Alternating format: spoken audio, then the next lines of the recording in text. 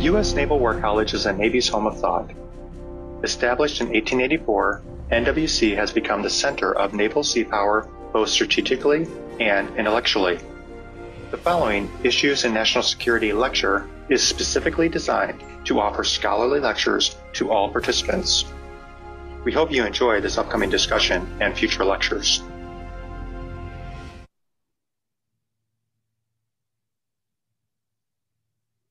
Well, good afternoon, and welcome to our fifth Issues in National Security lecture held here in the virtual world. I'm John Jackson, and I will serve as the host for today's event. To kick off our event, I'd like to call on Rear Admiral Chatfield to extend her greetings. Hello, all. Thank you for joining us again for Issues in National uh, Security. And I'm joined here by my husband, David Scoville. And uh, we are so inspired to see you online and to share with you some of these wonderful gifts that we have from our faculty members. And we're looking forward to the lecture today. Thank you very much, Admiral David. To uh, begin, I'd like to just mention that uh, anyone who's joining us for the first time, I'd like to reiterate that this series was originally conceived as a way to share a portion of the Naval War College's academic experience with the spouses and friends here in the Newport area. Over the past four years, it has been restructured to include participation by the entire Naval War College extended family, to include members of the Naval War College Foundation, international sponsors, civilian employees, and colleagues throughout Naval Station Newport and indeed around the world. We will be offering 13 additional lectures between now and May of 2021, spaced about two weeks apart. An announcement detailing the dates, topics, and speakers of each lecture will be posted by our Public Affairs Office. On Tuesday, 10 November 2020, we will feature a lively discussion on ethics and emerging military technology with Professor Tom Creely. Each event will consist of three parts the scholarly speaker's presentation, a question and answer period, and then a brief pause before we proceed to the family discussion group session. This final segment is of primary interest to family members residing here in Newport and will feature guest speakers from various support activities and organizations on base. Okay, now on with the main event.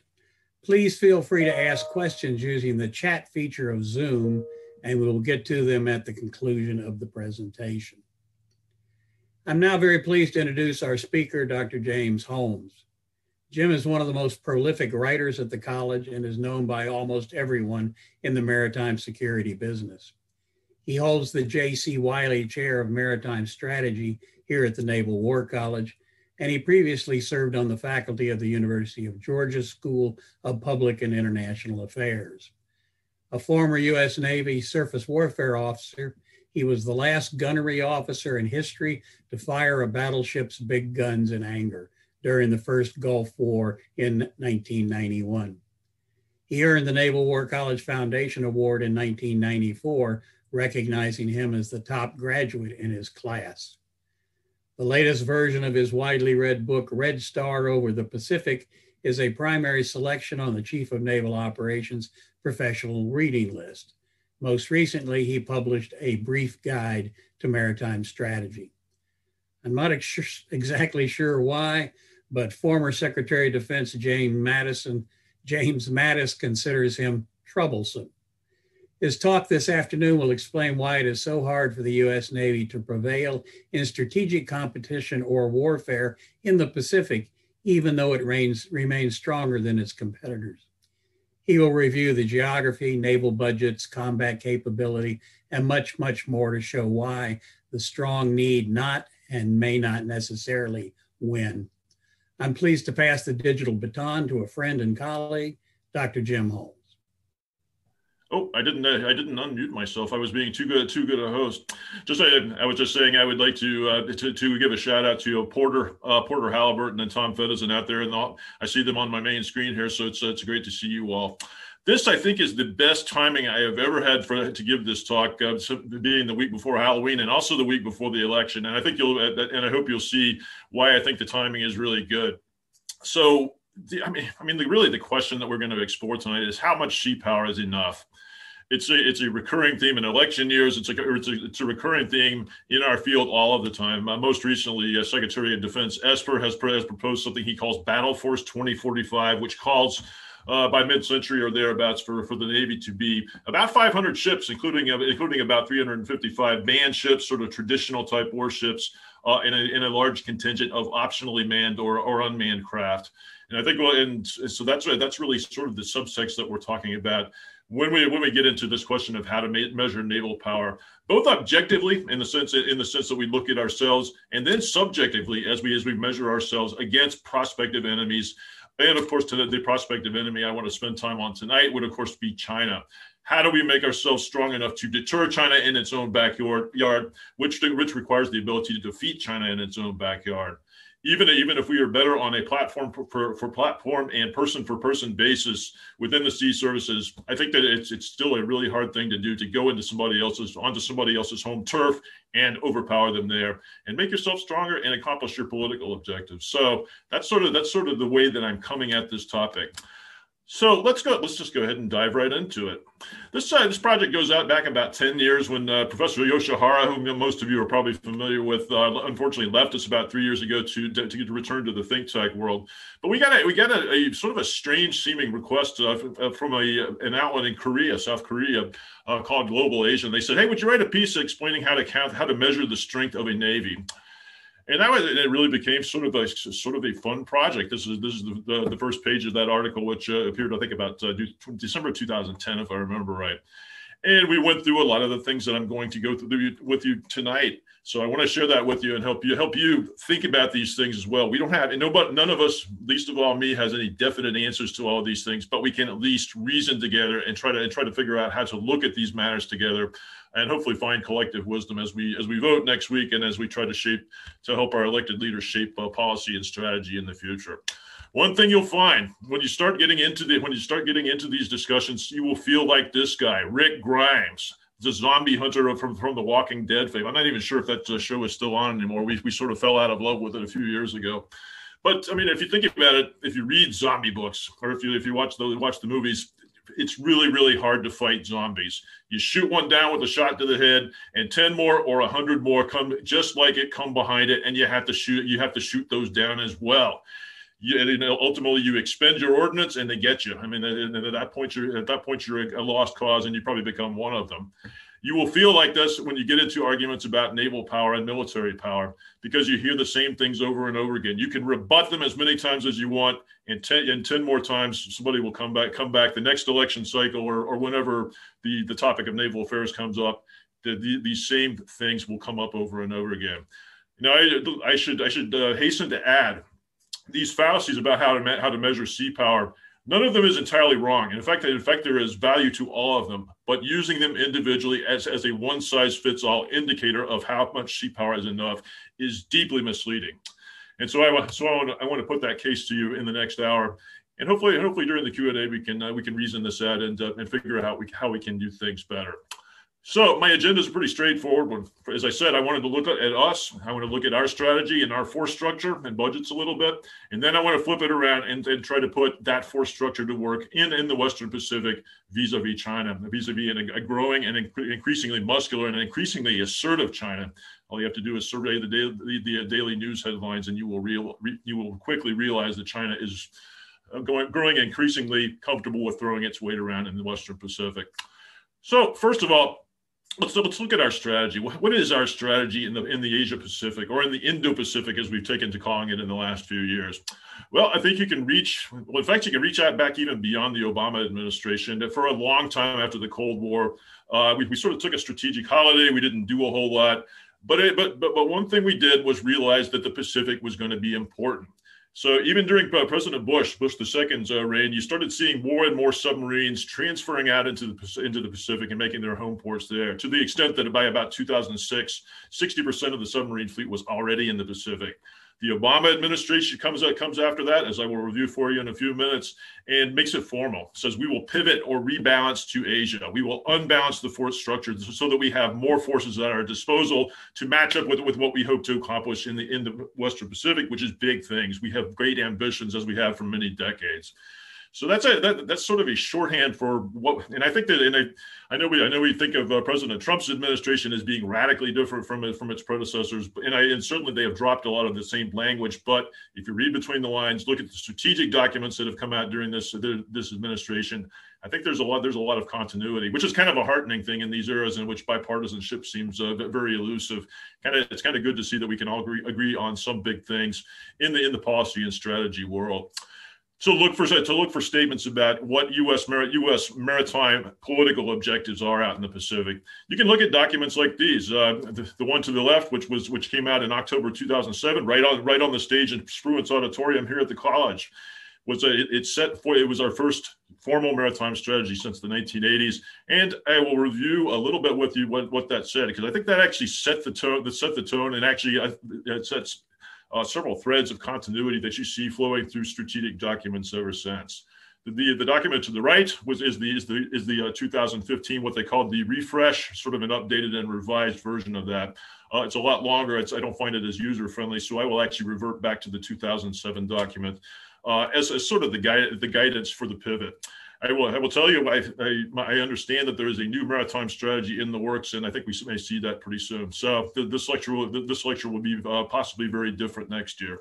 So that, I think that's in the works uh, for some time, uh, potentially by the end of the year. Okay, what are the basic what are the basic trends in U.S. in U.S. maritime strategy in the Western Pacific? And I said, as I said, I'm reaching back to 2007 here the, three I think the three most striking things in that in that document which was a nice short little punchy very user friendly document were this. First of all, the United States reserves unto its, the right unto itself to maintain credible combat power in the Western Pacific, the Indian Ocean, and the Persian Gulf. So, sort of the wider Indo Pacific uh, uh, basin plus the Persian Gulf. And that, that, that, was widely interpreted by, by, the, by the framers of that strategy as well as meaning that we intend to remain number one in the, in the region for the foreseeable future. So that's and which leads to the second point that I've uh, highlighted there. We what we reserve unto ourselves also the right to take local sea control at times and places of our of our own choosing, alone if need be. So whatever expanse of water we need control of in that in that uh, region, we're going to go and grab it, preferably with allies and friends, but alone if need if need be pretty striking that pretty striking thing we, we talk about mahan and it, i know you all have uh, heard from john maurer about mahan he was all about command of the sea but he was thinking mostly in regional terms, mostly about the Caribbean Sea, the Gulf of Mexico, and the, and the waters off our eastern and western coasts. This takes Mahan to a whole nother, another, whole nother level basically saying we'll do this anywhere on the face of the earth that we need to, but especially in the Indo-Pacific region. So a really, a really uh, breathtaking statement of purpose coming out of the Navy, Marine Corps, and the Coast Guard, the, the, the three signatories to this document. And lastly, the, the documents, and this was the, the part that occasioned, I think, the most the, the most uh, buzz among commentators on maritime strategy, but it did explicitly make make plain what we already knew, which is that the United States sees itself as the lead custodian of the system, the system being uh, the system of freedom of the sea, uh, freedom of the freedom to use the sea for um, military and military and commercial purposes in, in concert with friends and allies of whom we hope to, to recruit a lot so that we could so that we could have more of uh, forces available to police the sea against counter or for against proliferation against terrorism and all these sorts of things. So this made it this made it formal that the united states contends that it is the steward of the maritime system at sea the liberal order at sea so, like I said, a pretty a pretty bold st- statement of purpose coming out of the Bush administration that carried over, as I said, into the Obama administration, in which uh, uh, in which the Obama Pentagon in 2015 released this document, the Asia Pacific Maritime Security Strategy. I was totally stoked when I opened this up on my screen in my office that day and saw this on page one.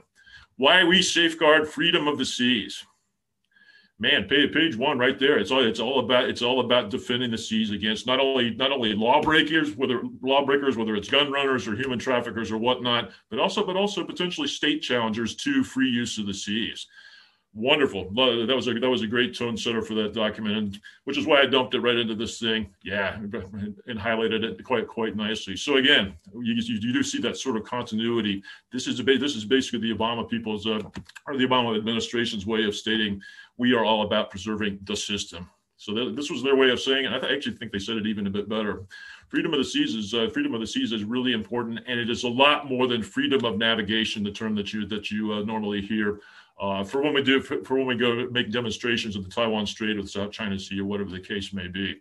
Just to go, just to close out this opening section about strategy, just to just to just to point out that there is continuity from administration to administration here's the here's the Indo-Pacific. I'm not sure what we call it why we call it a strategy report exactly, but it's basically the Department of Defense Indo-Pacific strategy. And here we go, right uh, right on page one. The Indo-Pacific is the, is DoD's priority theater, and the, the, nomenclature, which you see down there below, they, have taken to say it's instead of freedom of the seas, it's a free and open Indo-Pacific in which all nations can, can partake of maritime freedom and all the all the blessings that go with a liberal international system. So again sort of does, uh, different, different on the rhetorical side, but not really a whole lot different on the substance, if at all. What does that translate into in real terms? I, I already, I already uh, when I introduced the pivot, the rebounds to Asia, in more force structure terms, it, it, it, it amounts to a 60-40 split in the force structure between between surface ships and uh, uh, naval aviation and all, and all the all the branches of U.S. Uh, naval power which uh, which is a good thing. I mean, it's I mean, I'm glad to see it's glad it's good to see Washington under successive administrations realize the importance of the region and realize that, that, if we have big ambitions in this important region, that we need to allocate more region more resources to that in order to match policy with strategy with resources and accomplish our goals. So, but I mean that do that does leave a rather large question unaddressed. Is that enough? I mean, just I mean that's an input measure. We're saying, okay, we're going to put 60% in the in the region. That's fine, but is that enough? If it's not enough to defeat China or deter Russia or whatever the case may be, then at that point we really have to uh, do some soul searching and figure out what we're going to do. Whether it's to augment the forces as a whole, whether it's to swing more forces from the Atlantic into the into the Indo-Pacific, whatever the case may be. So that's a that's a big question that we should always be bearing in mind. And that's where you start running into zombies. They're going to start attacking you when you start uh, delving into these matters. So hopefully, hopefully this fence will open. This this fence will hold, so you don't ex- expend all your ordnance trying to gun them down. Okay, the first zombie, the first the first fa- fallacy that I think you will encounter when you talk about naval power, and again, this is a partial truth, not something that's uh, totally totally wrong at all. But that's I mean, this is the idea and I'm stating it more clearly than you'll hear it, that the idea that he who he who spends the most on defense wins. How many times how many times out there in the press? In fact, you can get into your favorite search engine and you can find you can dig up any number of graphics to go along with this one. This one's sorry, this one's from the last election cycle in 2016. Look at that. Look at that headline. This, this, this remarkable chart shows how U.S. defending dwarfs the rest of the world, dwarfs the rest of the world. And the, the, the point being that the United States spends uh, about the same as the combined 14 next competitors, many of whom are our friends, uh, along with along with China and Russia and, and other uh, potential antagonists. Man, so so the so the takeaway is that if we spend that much, we must be able to win because we because we must have bought so much stuff, more stuff, more so many more sailors, soldiers, sailors, and airmen, and all that kind of stuff. That if we apply that resource or those resources against any potential foe, we are going to win. And again, that make, that does make a certain amount of sense. You should be able to buy more military power with uh, if you spend more on it. But think but think about what uh, what that uh, what what all that defense spending uh, you know about about three quarters of a tw- trillion dollars goes into every year. We buy a lot of really expensive stuff. This is the this is the USS Zumwalt, the first of a new class of stealth destroyers that's uh, that's now out in San Diego. Stopped off here on its way to San Diego from Bath, Maine, a few years ago uh, and had us on board on, board for tours, which was really kind of cool. This thing this thing goes for about four billion dollars a copy, and there's only going to be three of them because they're so darn expensive. We were going to get 30 some of them, and uh, you, you, you progressively saw the number go down and the unit costs go up. So that's a, so again that's a, that really helps eat into that defense budget pretty fast. This is the USS Gerald R. Ford, the first of a new class of, uh, of uh, aircraft carriers, nuclear powered aircraft carriers. This thing goes for about $13 billion a copy, and that's without putting planes, without putting sailors, without putting stores and ammunition on board, all of which will, of course, add to the operating costs of that thing. So, yeah, that's a, that's a big chunk of change. Speaking of putting an air wing on there, it's, a, it's going to carry it's going to carry eventually uh, these F-35 Joint Strike Fighters, stealth fighters. If you, if you look at DoD, the figures out of the DoD, the different services that are going to operate that, the Navy, Marine Corps, and the Air Force, this thing goes for well upwards of 100 billion dollars per copy multiply that by that by a couple of squadrons, whether it's uh, whether it's uh, you know 12, 12 planes per squadron or whatever the figure is, that that, that really adds up quite a bit as well. But that's not all. I mean, these are these are uh, these are forces that we use to go out and do battle for the command of the sea.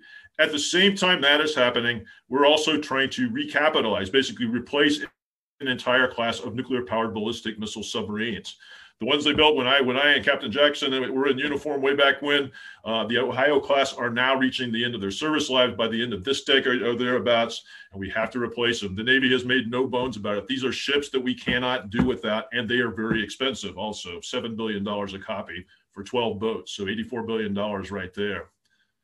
And uh, in fact, if anybody's uh, sitting alongside the Narragansett Bay, if you can look over towards Quonset Point, it's part of part of those boats are being uh, assembled right there. And then of course down uh, hop, skip, and jump down the road at Groton is where they're being assembled. So kind of, kind of neat, just kind of neat to see this major project going on right here in our own backyard. But again, a bit this is a this is a major expenditure. In fact, the Navy has the, the Navy has said not only we cannot do without this, we cannot let the schedule slip, and also and, also uh, at, at, one point in the last administration, before Trump, President Trump's administration, the warning from the the warning out of the Chief of Naval Operations Office was this is going to bankrupt us. It's going to bankrupt our entire shipbuilding budget unless Congress does something to help us work around it. So again, this is so this is I mean this is something that is a potential budget buster and that we have to uh, keep an eye on and see how this progresses. And lastly, just a kind of a silly kind of a silly way to to explain that we spend a whole lot on manpower relative to our rivals. If anybody used to watch Top Gear on BBC or the Grand Tour when it moved over to uh, Netflix, I think it was. I mean, if you think it, they they always had these these expensive uh, professional race car drivers driving these hypercars and supercars around. You gotta th- you gotta think that people like to Stig. Their their their, uh, their in-house race car driver are not low cost labor. Estimates estimates hold that the United States, uh, or excuse me, that China and Russia can put about eight or nine sailor soldiers and airmen or airmen into uniform for the price of one American. So again, that's that's that's another thing that really consumes. When, by the time you think about salaries, healthcare benefits, uh, pensions, and all that kind of stuff. So it's a good thing. It's a good thing that we take care of our people, but it does cost us. And that's something that, and that's something that's a, that could be a great equalizer in competition with China, especially since we have to go into China's backyard, which which obviously confers many advantages on China, as we will explore on the back half of this. So to, to, beat that one down, this this lovely young lady would tell us, "He who spends the most need not win." It's not it's not a guarantee. The next uh, the next one the next metric that you often see uh, for sea power is the idea that he who weighs the most wins. What do I what do I mean by that? Well, so let's go let's go through some of the greats who we've heard heard comments on this, including this is uh, this is Robert Kaplan, one of the greats in the field of geopolitics uh, pictured pictured on our stage in Spruance Auditorium, Auditorium back in 2014. He was back here in 2017 and he said this The United States is a maritime nation. Let me summon out the key words. The Navy is the largest in the world by far. He goes on. To, he goes on to say the coast. Oh, I'm sorry, I didn't summon that one out. He goes on to say that the Coast Guard would qualify as the 12th largest navy in the world. Well, we know that China's navy is more numerous by by many measures than we are today, and it, that was actually true back in 2017 as well. In fact, the Economist magazine about uh, eight or nine years ago put out a, a, story that generated an enormous buzz by pointing out that in, in terms of major warships, China's navy was already bigger than us even by then.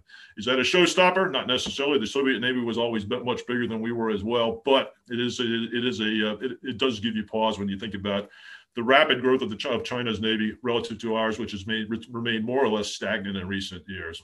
But in any event, what does he mean by that? Well, I mean, he would get an argument uh, from my friend uh, uh, Jim Fanell, Captain Fanell, former, a, very outspoken former Pacific uh, Fleet intelligence uh, uh, officer, head of, head of Pacific Fleet intelligence out there, who, forecast in a book out of our own CMSI a few years ago that China would have about a 500 ship navy by, two by 2030. So he didn't make a strong prediction about that, but he, he, quite clearly believes that that would be the case. So there's one reputable source who pushing back against this idea.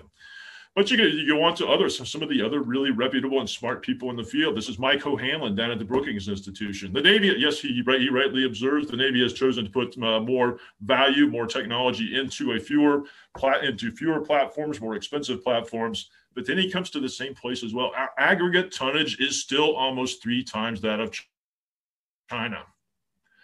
Okay, is that does that mean that we win? Only if we're going to be in a ramming contest. I mean, but if you take that if you take that logic to its extreme, the logic of superior tonnage, this is one of the strongest warships in the world. This is the Emma Maersk for, for the working for the Maersk Line, a 550,000 ton ship, about five or about five times that of the USS Gerald R. Ford, which I took, which I showed you a picture of a minute ago. That's obviously a nonsense statement. I mean, this is a civilian freighter and it's unarmed. But that's what I mean, take, taking this logic to its extreme, that's where it leaves you. You have to you, you really get you really got to add a, a, whole lot more to that to, to, that metaphor for this to really to really make much sense. Yes it's i mean yes yes this indirectly indicates that we have certain advantages. Our ships are bigger they carry more fuel more ammunition more stores and all that sort of and all that sort of thing which they have to do because we're to we, we anticipate fighting thousands of miles from home whether it's uh, off the shores of western europe or in east asia so indirectly, indirectly, this is a meaningful thing, but it really, it really leaves out an enormous amount of context to the point of where it's almost meaningless.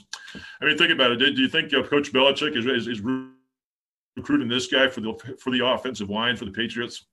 I mean, he's probably bigger and he's probably bigger and heftier than anybody on the team. But one one doubts that his ability to block or run a, or run a football is very good. If you if you want to continue on with Mar- with the sports metaphors, if it's somebody like this, though, I mean, a big a, a big beefy guy who's got lots of combat capability and can give his adversary a wedgie. If we can give China's Navy, Navy a wedgie, I'm all I'm all about that. So, but but I think this I think this picture does help you ask the right uh, the right questions. What are we actually getting for all that gross tonnage? Are we actually getting combat uh, capability, or is it or is it just sort of uh, more or less meaningless? So um, this is this is one way to think about that. She'll but and she'll remind us again: he who weighs the most need not win in action. Okay, the next uh, zombie that you might encounter would be would be something like this: numbers of hulls. Let's count numbers of hulls and uh, figure out who has more. Whoever whoever has more hulls in the water wins. And this is a, this is actually one of. The, in fact, I'm kind of surprised. I, think just because it's, such an unusual year and such an unusual election, you actually haven't heard too much of this uh, in this particular election cycle, but it normally comes up the the the, the idea that numbers of hull means or numbers of hulls mean everything versus the idea that they mean very little at all. What do I mean by that? Well, here's a from, from the from the from the run up to, the, to the 2016 election. Here's how what PolitiFact had to say, and this is and I would I would indeed agree with them that this is a talking point. The smallest navy since 1917. What is that? What, what are we talking about there? That's that's basically the idea that we have uh, the smallest number of ships in the fleet that we had since the Naval Expansion Act of 1916, when Woodrow Wilson was pre- was president, and when the United States uh, was still a regional fleet and was only then embarking to, on on the pathway to become a global navy. So that's a, I mean that's a pretty strong uh, statement. And they're they're essentially uh, purveyors of this talking point are essentially saying we're at, we're on the on the verge of reverting to not being a global navy anymore. Yes, so like I said, pretty a pretty a pretty uh, startling statement to make let me move on here. And this, I mean, this is something. This is a way of looking at that has continued on to the present day. This is a, uh, this is a picture, a picture of David Perdue, a Republican of Georgia, senator from Georgia. Again, this is this was during the 2018 18 election cycle, but again, smallest navy since World War One, solely a, solely a function of counting hulls in the water. Here's what, uh, and, like I said, this is a debate that goes back. It goes back certainly years and probably probably decades as well. This is what Secretary Mabus, our Secretary of the Navy, for the entire Obama presidency, had to say. He's pushing back. He's, he's pushing it back against this idea that the number of hulls is very very important. And here's what he here's what he has to say a few years ago. He says, "Well, the, the 1917 comparison is pointless because today's ships are much more technically advanced, technologically advanced, which is undoubtedly true. I mean, would you take would you take, take today's Navy in a battle with the Great White Fleet of Teddy Roosevelt? Uh, yeah, I think that, I think they'd have a pretty, they'd have a pretty good shot since the Great White Fleet would never get in range of our carrier air wing, let alone of our uh, anti-ship missile batteries and all that sort of thing. So that's a, that's indisputably true. But what what what the purveyors of this particular talking point never point at is that yes, ships have gotten a lot more advanced, but the but the the threat environment has gotten a lot lot more menacing, as we will see as we will see for the rest of the lecture here. It is not 1917. You have to you have to interpret things like hull, hull numbers, combat capability in the context in which they will be used. We're not we're not going out to fight in 1917. We're going out to fight in 2020 against things like this. This is uh, this is an early model of uh, China's J-20 uh, stealth fighter, uh, which will reportedly uh, eventually be added to the to the carrier air wings that China is busily developing as it constructs carriers uh, for use in the China Seas and the Indian Ocean. So you get you get you get the idea. There's a so numbers, yes, they're important. Certainly, mass is important. Any any strategist knows that, but at the same point, you can't just use it as a talisman, as a, as a one stop or one shop stopping way to measure naval power. So again, we need to we need to we need to combine a lot of these different metrics together and try to and try to figure out. And then we need to measure ourselves in war games, such as we do a lot in Newport uh, uh, against actual competitors, and thus figure out whether we have enough sea power in order to get our job done. So numbers are not everything. The next, the next, and I think the last fallacy that I'll go through with you is, is sort of like this. It's the Jane's fighting ships way of looking at sea power. If you want to figure out whose navy is stronger, you, you, you do what I just said. You, you crack open your copy of Jane's Fighting Ships. You look at the pages for the, the PLA Navy, the, the uh, uh, for for the U.S. Navy. Compare them up, see who has more stuff and better stuff, and that and that tells you who wins. It's all about ships and it's all about fleets that, that that was one that's, that was one time or it was true at one time sea power at one time was mostly about ships unless you unless during the age of sail you went in really really close to a fort that had guns that could out that could outshoot you because uh, uh, simply because simply because the, the, the land power had the advantage even back in those days if you got close enough but for the most part you could detour around it I think that I think that behind this fallacy, I think there's is, is, imagery like this. This is one. It's a famous painting out of the Battle of Jutland in 1916 in which the, the, the Royal Navy's fleet, uh, Grand Fleet stood out to sea, well out to sea to meet the German, the German High Seas Fleet. They were out of range of any land-based uh, munitions and they had a gunfight. It was a solely fleet on fleet affair. So that's and that's that's of course is a kind of an out, outdated way of thinking about sea power these days because as we know already by World War II, the, the air, naval aviation was becoming a thing. Land-based aviation was becoming able to strike out the sea. This logic is this logic has really really started to break down even a century ago, not long after Jutland. So thinking about thinking about sea battles in this term is, is deeply misleading these days because battle invo- involves a lot more than fleets nowadays. And In fact, in fact, it, it involves more than navies. Full stop. Land, air forces, and even army, even armies are now maritime services to a great extent. Which is why you, when you when you look at what the United States Army, Marine Corps, and Air Force are doing, a lot of it involves shaping events at sea, which is a beautiful thing. That's how that's how that you that that's how I hope we will offset some of the shortcomings that we see in our own force structure look at, I mean, think of just a few representative things. This is a line of Chinese uh, PLA Air Force jets armed with the anti-ship cruise missiles, able to strike out 100 miles out, out to sea against moving U.S. Navy or Allied formations at sea. This is an arm of sea power as surely as, a, as, as an aircraft carrier or a cruiser or a destroyer. So, again, if you're going into somebody else's backyard, they're going to have this sort of thing at their disposal. But it doesn't really stop with manned aircraft. This is the uh, DF-21D anti-ship ballistic missile, the world's uh, first working such missile. A missile that is mounted on trucks, as you can tell about, so it can move around and not be uh attacked by our forces easily, and can strike, according to the Pentagon, about 900 uh, nautical miles off China's coastlines. I'll show, we'll, we'll go through a little bit of geography here and see exactly what that means. But it doesn't even stop with that. Uh, back in 2000, uh, 2015, the PLA Navy, or the PLA, the PLA Navy, uh, uh, during a parade in, in, Beijing, as I'm showing here, introduced the DF-26, which is a, another anti-ship ballistic missile, reportedly with the ability to strike over 2,000 nautical miles offshore. That, that, that puts it that puts it able to hit beyond hit, hit targets beyond Guam, beyond the second island chain that uh, parallels Asia's coastlines which as you can imagine, that's a, that's a pretty significant thing. If our Pacific fleet is trying to steam across the Pacific to join up with forces in Japan and elsewhere in the region uh, and form a fighting force that can, that can defeat China or deter China. So again, this is, this is something that uh, preoccupies people, people in, in my field, in our field. Here's a here's here's here's a diagram that shows that shows exactly what I just said. This comes out of the uh, Center for Strategic and International Studies in Washington, and it's a it's a wonderful graphic. The important curves here are number one, and number six. So the innermost and the outer, outermost curves that depicts the, the, the reach of the DF-21D and the DF-26. So as you can see, it's unfortunately, unfortunately, they kind of they kind of kind of grade out the geography a little bit. But the with the DF-21D, they can hit well beyond Taiwan or Japan.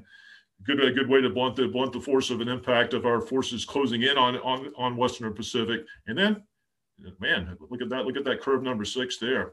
That that extends well beyond Guam, as well as being able to range the entire Bay, Bay of Bengal, the vast majority of the Arabian Sea, and well into the Gulf of Oman as well without without even, even deploying anything beyond Chinese soil. They can do that within their within their own frontiers, as, as indeed we've seen demonstrated just this year. So this is a so this is a I mean this is a problem. It's not just a matter of matching up the PLA Navy force structure against our own and seeing who has more stuff, better stuff, better people.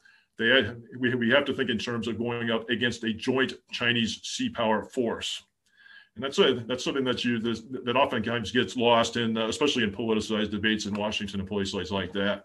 But it doesn't even stop there. Uh, China, China's, in fact, I would describe the early focus of uh, China's naval buildup as a, as a force of uh, pretty pretty impressive diesel electric submarines, all all uh, armed not only with torpedoes but also with the anti-ship missiles, as indeed is this is this force of uh, stealthy stealthy catamarans, Houbei catamarans, which also bear eight anti-ship missiles uh, apiece, things that can fan out into the Western Pacific and, and potentially give us a hard time as we approach whatever the combat theater happens to be. So again, these are, this is a force that is designed to slow us down, to weaken us before we actually even have a battle. As, as, as the Marines like to say, we're going to have to fight to get to the fight, and that's and that's by, by design uh, for force designers in China. And I think it's a pretty impressive strategy and a pretty instru- impressive force that they've come up to, uh, to, to, to challenge our ability to get into the region. I like this one. I leave this one in. This is actually kind of an old one, but it's a. Uh, I, like it. It's, it's really lurid. It's it sort of suggests that we get into a yellow zone long before we approach the the uh, the Asian shorelines, and you come within reach of more and more things as you actually get into the combat theaters, which would presumably be in places like the Taiwan Strait, Senkaku Islands, uh, you'll notice the South China Sea is pretty is pretty red. Would be even more so today because this dates from before the island building project, uh, which started in 2013. So, gives it gives you a it gives you a sense of what we're up against as we try to go out and execute our strategy. I mentioned the island building, the island reclamation projects. These have all these have all been dug up dug up from uh, uh, islands and reefs and atolls in the South China Sea uh, equipped with airfields and, and, and, made, and made ready to host aircraft and ships, and thus extending China's ability to mount a presence in the South China Sea well, well, well seaward of its shorelines and make things as tough, not only on us, but especially on its uh, Southeast Asian neighbors who are, who are really the focus of all that. I used to get, uh, I used to get uh, sort of snickers. This used to be sort of a laugh line. I, uh, around 2012 when we when we first saw the Philippines get into a, a tussle with China over Scarborough Shoal at that point off Uh, off their coast. I used to I used to describe this as the vanguard of Chinese sea power. I don't get laughs much anymore because we know, we know for a fact now, including through the efforts of people at CMSI, the China Maritime Studies Institute, that that China indeed operates a maritime militia within the fishing fleet. So this is very much a dual purpose fleet. Yes, it goes and catches fish and does the economic stuff, but it is also responsible to the Chinese military uh, and it's very much an arm of Chinese sea power. We can talk more about it that, at the uh, the Q and A if you like. It's really it's really quite fascinating, and it's a really hard strategy to beat uh, for a lot of reasons. But, but but again, any implement for China that can shape events at sea is an implement of sea power. We really need to keep that in mind. The strongest fleet need not win. The strongest force, when you add in all the components that, that are able to mold events on the high seas or in the skies above, that is what is going to win and deter- determine the course of, of Asia, Asia and the in the Indo-Pacific uh, in, in, the future, coming day, coming years and decades. I would just I would just leave you before we round this off and start looking at some geography with a, with, with a quote from the wonderful Albert Einstein, who tells us about net assessment. Not everything we can count counts. Not everything that count, not everything that counts can be counted. So there are intangibles that it's really hard to me- that's really hard to measure measure using numbers and metrics and graphs and that sort of thing. And he's, he's basically he's basically telling us to keep those things in mind because uh, it's, it's it's natural to count what you can count and, and and conclude that that's okay. Not necessarily. I think I think that's I think that leaves a lot of important things out there or out of the out of the discussion. So that's the end of the zombies. We, as you can see, they've been coming at us uh, hard, uh, pretty pretty thick for about half an hour here. Sum up all the bad ideas or all the partial ideas that I've gone through with you, and you, you get it. You get statements like this from people who really ought to know better. John, this is John Mearsheimer from the University of Chicago, one of the greats in my field uh, of international relations. In his very well, well regarded book, uh, The Tragedy of Great Power Politics, a few years ago, he essentially said this The United States Navy is 10 feet tall how do I arrive at that, that, interpretation? Well, here's the here's the actual here's the actual passage out of the introduction to that book, which again is one of is one of the landmark works in my field. Here's what he says about China, and just in just in passing. China, in present day China, does not possess significant military power that kind of goes against everything that I've been saying to you and, and, anything that you read in the defense or trade press. I mean, that's a we, we know that China has done pretty well. Look at the second half of the sentence, and he think, he seems to think that he's restating what he said in the first half of the sentence. Its military forces are inferior to those of the United States. Well, I mean, it's a, it is possible to be inferior to your adversary and yet still be not only have significant military power, but have war-winning military power. And I think that's the case with China. And I think that I think that uh, Professor Mearsheimer has lost sight of that. It doesn't necessarily matter whether we as a whole are stronger or weaker than our adversary. It matters whether we are stronger or weaker at the place and at the time where battle takes place. And that's a, that's a, that's something that I think gets lost in this analysis. Beijing would be making a huge mistake to pick a fight with the U.S. military. Well, I mean, I, I, think it's I think that's um, that might be true in certain circumstances, but I think in the in the most likely circumstances, that is definitely not true. Taiwan only sits 90 miles off the off the off the Chinese shorelines. I mean, that's a, is that, is that is that a place in which uh, Beijing would be making a huge mistake to think that it might win? Yeah, it's a. I'll I'll leave that to you to to ponder.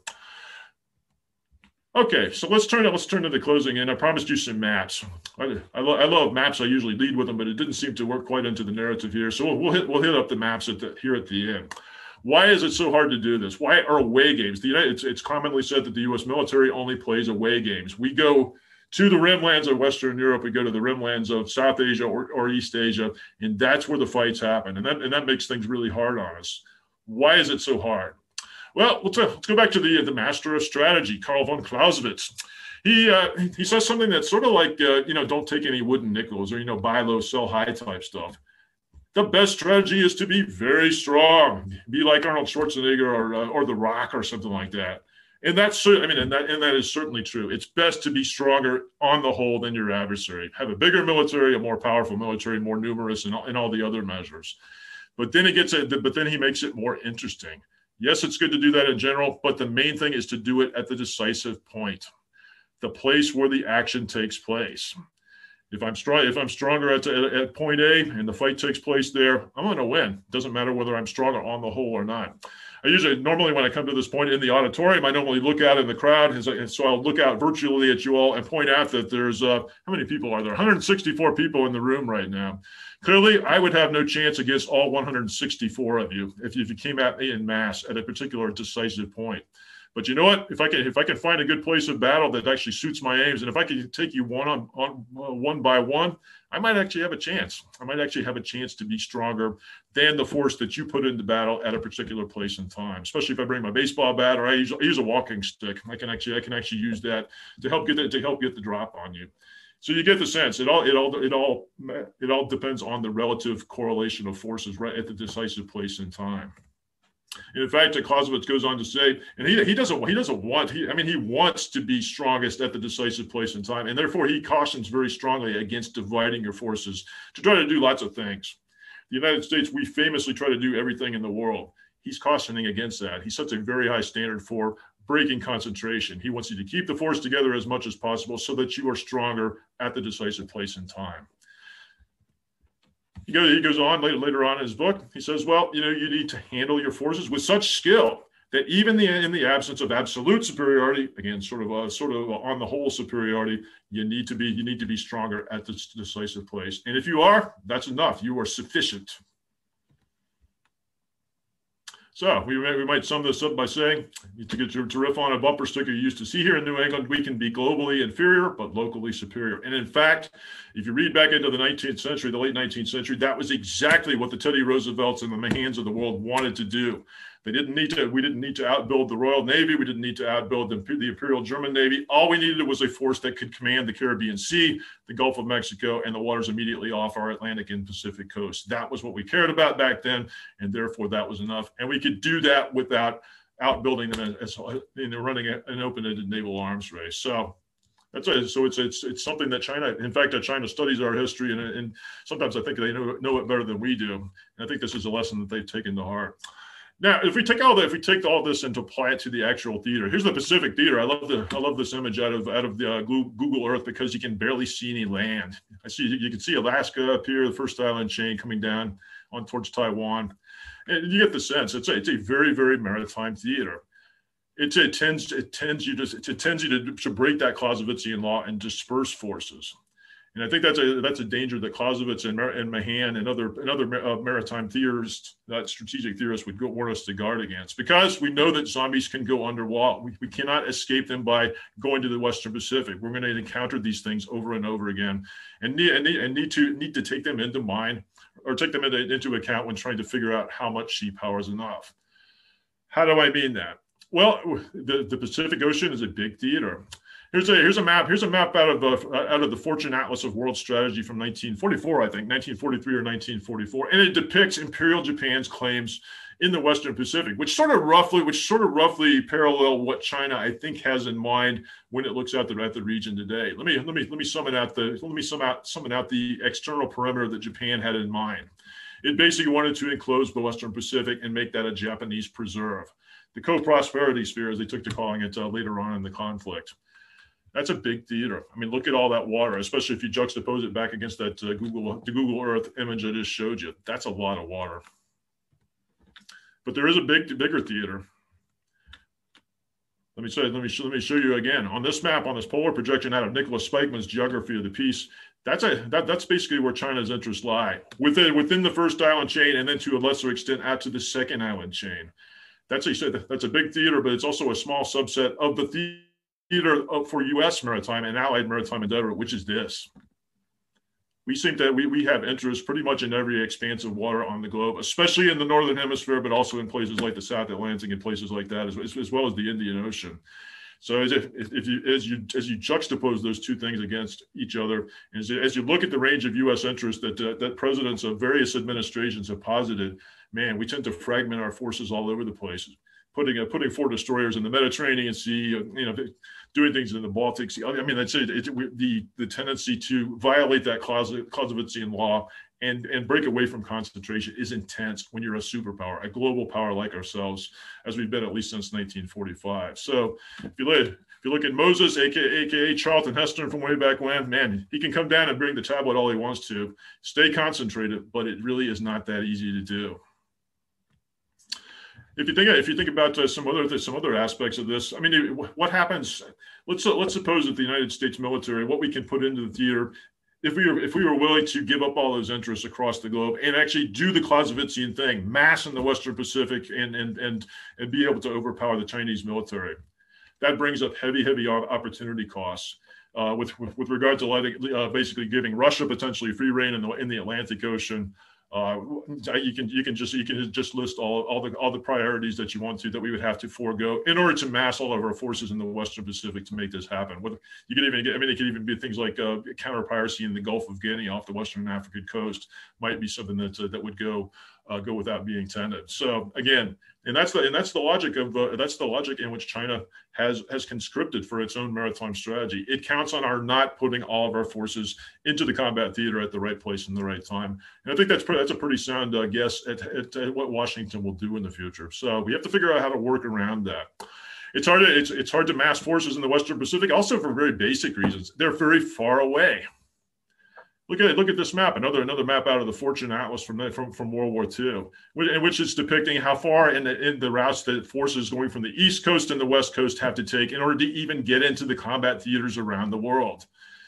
Well, it's a I mean it's it's it's long and circuitous. I mean, look at that one right there. If you want to use the Mediterranean route, boy, not only is that a long and convoluted route, but that's potentially uh, contested by our adversaries if, if we try to mass in the Indian Ocean or the Western Pacific. So, again, the distance, distance really matters. The potential for adversaries to make things hard on you as you go, as you try to get to the theater, also is something we have to take into account as well. This is a this is a picture of Pearl Harbor from way back in the good old days when we used to back in the late Cold War when we used to have enough ships that we could nest them four or five abreast. That was kind of cool.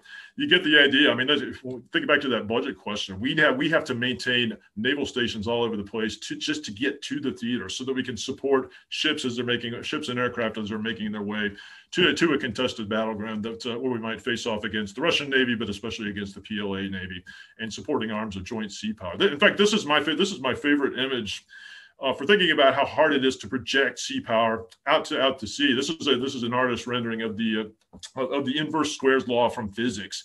Basically says when you when you when you radiate light or some some form of some form of energy, the uh, it doesn't it doesn't the amount of the intensity of the energy doesn't dwindle sort of slowly and gradually. It goes down by the square of the distance.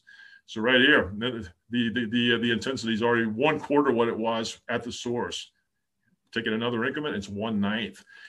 It's really, really hard to project uh, sea power out, out to sea, sea and air power out to sea, and therefore you need booster stations, which is you can also think of uh, bases like Pearl Harbor, uh, Yokosuka, whatever the case may be, as being booster stations to try to boost that signal so that you can actually get military power to, to where it's needed when you're going very far from home.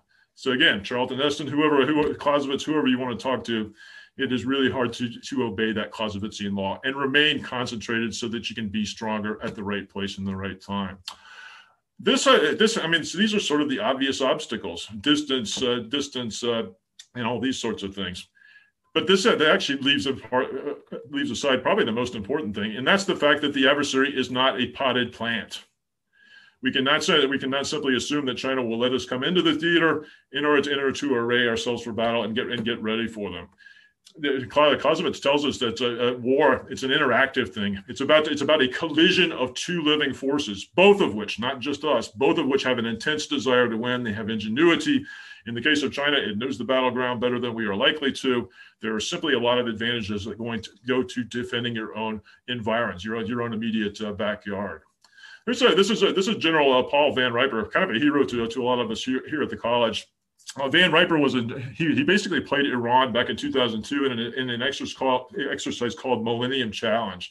He was basically allocated the resources of Iran back in those days, which were pretty slender. And he, used them so creatively. He was such a creative red team that he actually managed to defeat a U.S. Navy carrier task force operating out, out in the uh, out in the Persian Gulf.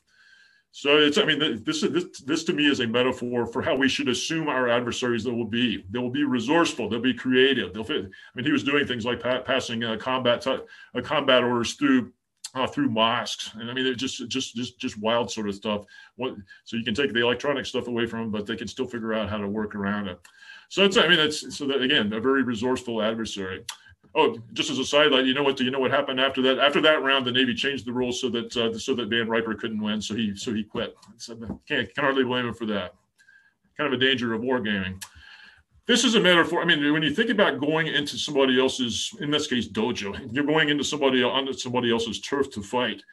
We have to be like the great Bruce Lee, who ventured into his adversary's dojo in uh, Fists of Fury, and he had to go in there and pound him, and he actually won. Of course, he's Bruce Lee. Come on, we have to ask ourselves whether we are Bruce Lee. Can we go into China's dojo and hope to fare as well against against the against the representatives that of that just the way he did back in the, in the 1960s and 1970s? Stick with the sports metaphors. What what else? What other advantages go to the home team? This, this is the this is the stadium at Texas A&M University, which claims to be the inventor of the 12th man. Basically, they're basically having the home crowd. I mean, think about all the moral advantages, but think about how intimidating that is uh, for, for the adversary. Think about how, how, how good it is to know your own home turf. Uh, there might be some quirks of the field and so forth. So there's a, so there's, there's quite there's quite clearly advantages of being fighting off your own shores. You probably you probably care more than your adversary about what goes on there. I mean that's that's just that's just that's just sort of uh, uh that's just I don't know. It's just sort of reason that's just, that you care more about what happens in your own environs than, than your out, outsiders might do so. Or you could tell you, you could, how about, how about Duke University? The, the, the, uh, the residents of Cameron Auditorium there are so fierce and so crazy. They actually call them the Cameron Crazies. You can, uh, they can, they actually, they actually directly interfere with the, with the opposing team's ability to, to do its work. Football, they, they can try to drown him out so they, can, they can't call plays. There's just a lot of ways to, to mess with the adversary. And there are certainly military analogs to this. It's actually just to stick with one more, one more little bit of sporting. It's kind of it's kind of like a WWE wrestling match. There's nobody this this guy this, this guy looks pretty pretty pathetic trying to police this uh, bout. There is nobody in warfare who makes the teams be equal, equal in numbers or equal in weight class or characteristics. This is so if somebody if China has more has more stuff in, in, available in the theater, it, it behooves China to throw all of that in there so that it can try to toss us out of the ring, hit us with a chair, whatever the case may be. So that's a so that's a that's a way to think about warfare. Is it's a it, it's it always behooves you to bring all of your stuff that you can so that you can overpower the opponent. There's nobody making sure. In fact, we often we often in the United States say we don't want to fight fair fights. We want to we want to have a technological overmatch as well as all the other advantages that you need to win. So that's a so I think this is kind of another silly example way to think a way to think about what we're up against in, in, in the Western Pacific. The enemy gets a vote. This is a mantra in our department. Is this is a mantra at the War College the enemy gets a vote in my in the success of my policy and my strategy and the enemy the enemy is always going to cast the that vote against me and for its and for its own purposes and the use of the, the use of power to fulfill those purposes so it's a, so it's, a, it's always a mistake if you assume that the adversary is an inert mass on which you can work your will it's not the case. It wouldn't be the case if somebody came against us, and it's certainly not the case as we go up against a, a serious competitor like China we can close out. We can we can basically close out with a simple. I actually haven't mentioned Mahan much here, which is unusual for me. He sounds very Clausewitzian as well. He's trying to figure out how to size a fleet. How can we size our U.S. Pacific fleet? So, but sort of back to the question I posed at the beginning about the 60% number. He proposes what he calls a broad formula. The fleet must be great enough to take to the sea and to fight with reasonable chances of success the biggest fleet that it is likely to brought, or excuse me, is likely to be brought against it. The, the largest force that it is likely to meet in battle. Break that down just briefly. Great. So it, it, it, it sounds like it sounds like another one of those uh, buy low, sell high type of type advice pieces. But uh, it's, there's actually a lot here. Mahan was not known as a master wordsmith, but I think there's, there's really a lot of content here the fleet needs to be great enough to take on the largest. This sounds like net assessment. This sounds like measuring numbers of hulls, measuring the capabilities of weapons, all of that kind of thing that helps one force square off against another. Reasonable chances of success. There's a there's an element of risk. How much how much risk is each side willing to run in order to in order to get it, its aims in battle? So there's an element of risk. There's also an element of uh, politics. How much does it, how much does each contender care about winning? If it doesn't care that much, it's probably not going to commit a lot of all of its forces. If it cares a whole lot, it's going to throw everything it has into the fight for as long as it takes. So that's that's a, so that geopolitical calculation is a huge aspect of this, and that's where the likelihood comes in. Think uh, think about it. Look out from Beijing into the Western Pacific and try to get, try to gauge what is the largest force that President Trump or whoever wins next week is likely to put into battle in the Western Pacific. That's the standard of adequacy for the PLA Navy and for the for, for the PLA Air Force and for uh, Strategic Rocket Force, all those forces that we went through. If, it, if we're willing, if, if President Trump's willing to send a whole lot, that's a, that's the measure of our adequacy if if, if uh, President Trump is not willing to sacrifice heavily, if the American people are not willing to sacrifice heavily on behalf of, the, of Taiwan or whatever the case may be, they will commit less, and that may, and that becomes the standard of adequacy for the PLA, and that's what they need to measure against. And that's and I think that's I think that's quite clear in Chinese strategic thinking. So to take that Mahanian formula and try to neck this down toward toward the end, compare forces, do the stuff that we do the stuff that, that, I went over with all the zombie discussions. But again, then it becomes interesting. Think about cost to each side. Think about opportunity cost for each side. That's a lot squishier, but it's but it is equally important. And think about how much risk each side is willing to run. China is willing to let, run a lot of risk because it sees these these goals that it has set forth as per, of permanent and pressing importance to China, reaching all the way back into the 19th century, a century of humiliation for China. So China has vested a lot of importance in these things, and I think we have to we have to contend with that. So really, when you when you when you really break it down, this is the question that we have to pose for ourselves: Who wins when a fraction of U.S. forces goes up uh, against an adversary's entire navy, potentially, entire air force, potentially, and the army, of which of which the strategic rocket force is an outgrowth. So we, we really have to think about that. And we can talk during the Q and A. We can talk about how we might try to how, how we might try to overcome these problems and what the what the Navy, the Marine Corps, the Coast Guard, and our joint uh, our joint uh, friends are all trying to do to make the, to make this happen. But in any event, so when you when you when you listen to commentary over the next week or whenever this uh, comes up, just uh, I mean just uh, let the buyer beware.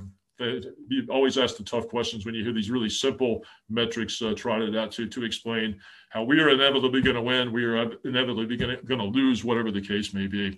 And you, you do that, I think you'll be well equipped to to uh, uh, take part in these discussions and make, and make wise decisions moving ahead. So I've thrown a lot at you, and I I hope I hope that I've helped uh, fuel some thought, and I would love to take your questions now. Hey Jim, thank you very much. As as always, a superb presentation that scares the heck out of people uh, even without the zombies. But unfortunately, we only have a few minutes for questions here, and we've had many, many questions come in. But let's just throw one out, uh, and that's uh, the notion of uh, are we properly investing in large deck nuclear powered aircraft carriers that seem to be particularly vulnerable, or are we better served with some other uh, force uh, situation, including unmanned systems? Yeah, it's a. I mean, that's a that's that's really sort of. I mean, that's one of the big questions. That's an extremely well posed question. The and I, the I can I can tell you what Secretary Esper. I, mentioned Battle Force 24 uh, 2045 right at the beginning. The the design that the design he has proposed and that the White House I don't think is approved yet. It may it probably won't before the election, but the idea is that you would scale back the number of CVNs, nuclear powered aircraft carriers, to eight or nine. I think was the was the figure, and that you would supplement that with, I think six. I think they said half a dozen of a, they're calling them light aircraft carriers, basically offshoots of the America class uh, helicopter carriers, which can now carry uh, F-35s, sort of a jump, vertical jump jet F-35s. So, so you they're, they're basically saying you rebalance towards a, a more numerous but lighter carrier force. The other half of that, the other half of that is is what the Navy's doing under is since about 2015 uh, has been pursuing what it calls distributed lethality, or they're now calling it distributed maritime operations. This is basically the idea that you have lots more numerous ships. Uh, they may be they may be smaller or lighter, but they will still pack a heavy punch, and you put you put missiles on everything. You basically put uh, anti-ship weapons, anti-air weapons on anything anything that floats. Whether it's a it could obviously a cruiser or a destroyer, but also uh, an, an amphibious war, an amphibious warship, or even or even a tanker or something like that. So you really give the adversary you give the adversary a lot more to think about. You also you, the basic idea is that you improve the ability of the force to fight on, even though you're going to lose individual ships and individual units. So you, you made yourself resilient and thus improve the improve your chances of actually winning, even though obviously you're going to lose some units in battle. I mean, that's just sort of the nature of what we do. So, as far as as far as unmanned, I think I, I think that uh, I think that Congress has not really been willing yet to, to, to throw all its eggs in that basket, simply because we're still in, in, we're still experimenting with these things. A question that oftentimes, and I don't know if this was part of this one, but a question that oftentimes comes up is, uh, I mean, are these actually going to re- are they actually going to replace traditional tr- traditional surface platform. I, I, I, my my gut instinct is probably no because because it, I mean they, these are still mechanical things. They still break. They're going to need maintenance. It's it's kind of hard to see you putting one of these things out to sea for six for six months without maintenance and uh, uh, and repairs and so forth. But that's just that's just one guy's guess. And uh, there have been there has been there have been some uh, promising things like uh, Sea Hunter has cruised from San Diego to to Hawaii by itself. So yeah, we'll, we'll see how it goes. But uh, that's just sort of my gut instinct as an old guy who was used to his sailors working on stuff all the time by themselves. Uh, another question is uh, considering that uh, the U.S. has a very, very small merchant marine fleet and very few U.S. flagged carriers, how do we justify spending that much money to basically protect someone else's uh, fleets? Oh, so there's two. Basically two halves of that. I think. I think. I think you're actually the, the, the merchant marine always comes up, and you're, you're quite right. It's too small. Everybody everybody knows it's too small. In fact, if you uh, if you, it's it's kind of hard to it's kind of hard to nail down the numbers to to precisely calculate the number of the merchant marine, but it seems to be less than we lost in action in 1942 to the German U-boats. So I think that that gives you at least a rough guide to to uh, to, to, think about how big how big the merchant marine should be. If you lose if you if you lose the merchant marine, we're probably going to lose the war because we're not going to get stuff and people to the places where they need to be when they need to be. Okay, so that's, a, that's just a, sort of the sort of a quick and dirty on that. As far as but talking about protecting allies, I think was the question. Well, I mean, look at the map. If you, I mean, what is our strategic position in the Western Pacific, Pacific without uh, without allies? You, you, don't have Japan, you don't have South Korea, you don't have uh, uh, some sort of relations with Taiwan, you don't have you don't have uh, access to the Philippines. Where are we? Guam. That's about as close. That's about as close as you get. It's really hard to project power into into the into the waters and onto the shores in the in the Western Pacific from Guam. It's just it's just not big enough. It's all by itself. It can get pounded on by the PLA, whatever the case may be. In fact, they, the PLA uh, quite quite clearly calls a couple of those ballistic missiles I, I called I showed you Guam killers and that's a, that's quite clearly a message about that. So, if so if you're willing to withdraw to the Western Hemisphere, you go back to the 19th century or the, or even the days before World War II. I guess that's that's kind of what that's kind of what we're positing that we would do. So it's really it's really hard to do. I mean, it's really hard to balance from from thousands of miles offshore, and that's really a strategic question that we would be uh, we, we would be taking on if we had that national debate as a as a country. President Trump President Trump is uh, not hugely uh, not a huge fan of alliances. It doesn't seem like, let alone foreign wars. But I, at the same time, I don't think he's. You haven't seen him threaten to shut down shut down our alliances, and I think that that would be a massive, massive shift in U.S. policy and strategy. So. Well, Jim, uh, since we're at the uh, the end of our allotted time, do you have any final comments you'd like to uh, make before we uh, turn to our uh, family discussion group meeting? Yeah, I mean, you said something about how, how dark a picture. I, I, always paint a dark picture. I think I think that's I think that's a way of paying respect to our adversaries, which they are eminently due.